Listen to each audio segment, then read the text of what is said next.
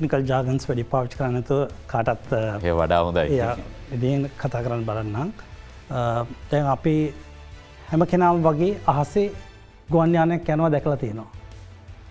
නමුත් අපි කවුරුත්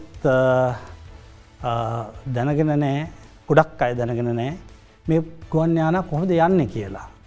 ති පාරෙනං පාර්වල් තියනවා සයින් බෝඩ්ස් තියෙනවා ට්‍රෆික් පලිස්මන් ඉන්නවා ති එකළඟ එවිදිරි යවනවා.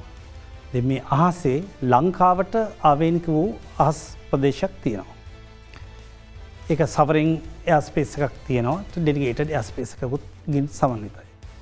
එතොට මේ ආසේ ගමන් කරන ගුවන්යානා නිරුප්පද්‍රිතව ආරක්ෂාකාරීව ජාත්‍යන්තර ප්‍රමිතීන්ට අනුකූලව මේ හාසේ ගමන් කළ යුතුයි.